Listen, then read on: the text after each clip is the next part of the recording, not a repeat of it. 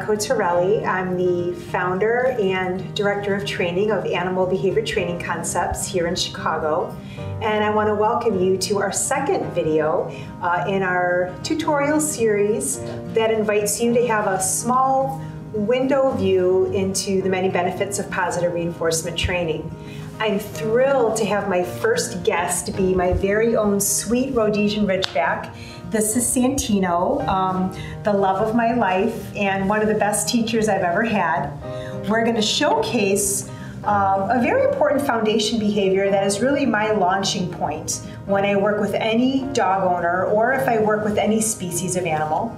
Um, a friendly reminder that if your animal is demonstrating any medical or behavioral concerns, to make sure to consult your veterinary professional first so we can rule out any potential medical issue so that the training can have its full, full positive effect. So let's get started. The behavior that we're going to chat about today is what's called capturing behavior. Capturing behavior is a common training technique that we use when working with exotic animals. And what capturing behavior is, is we notice what the animal offers naturally all on their own and we reinforce it. Good. So right now Santino's offering me everything. He's offering all four on the floor, stationing, which is standing in front of me, and attention to handler. So I have three wonderful behaviors that he's offering as a great success point. I'm gonna toss a couple treats off the compass here. So usually dog owners will say, well, what are you giving the dog treats for? He's not doing anything.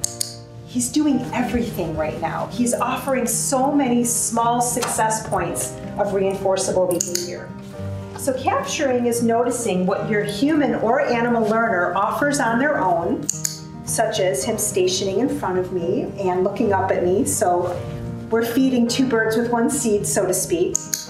And we keep a high rate of reinforcement, which means practice this um, with um, some of their treats or their dog food if you're working with a dog before their breakfast or dinner.